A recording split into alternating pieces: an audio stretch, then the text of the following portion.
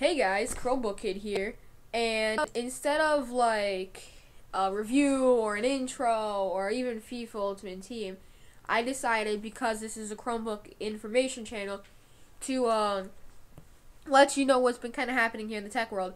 Um, because of a sudden explosion of popularity in Chromebooks that mentioned here, Microsoft is going to attempt to create a rival to Chrome OS called the Bing Book because Microsoft does own Bing. And for those of you that don't use Bing, because I know I don't, it's just another search engine. Um, I guess Microsoft owns it, but they're trying to do something like this because although Google doesn't sell Chrome OS profit, Microsoft sells Windows 8 for very high price. And in order for someone like HP or Lenovo or Acer to use Windows 8, they need to buy the software. And now, because Chrome OS is free, it's become more popular than something like Chrome or Google. Uh, I didn't mean Google. Uh, Windows 8.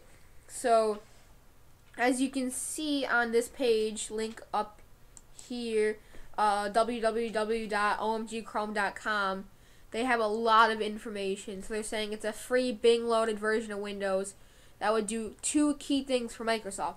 It would help the, the software giant boost the stand and share of its latest release, and it would help tie users into the B, Bing ecosystem, which is essentially Google Plus for those of you that have a Chromebook.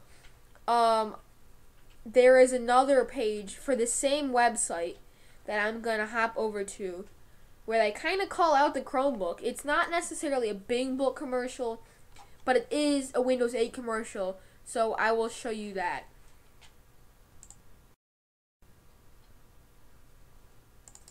Okay, guys, so this is another OMG Chrome page. Um, just saying Microsoft's new Chromebook attack ad. ad. So right here, um, I'm not gonna play it just for FPS reasons simply type in the new Windows Karate.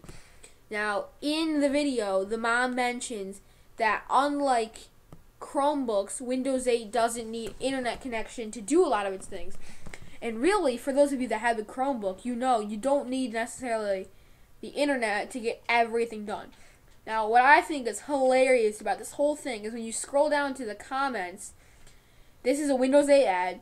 Scroll down to the comments. I just like to read a couple.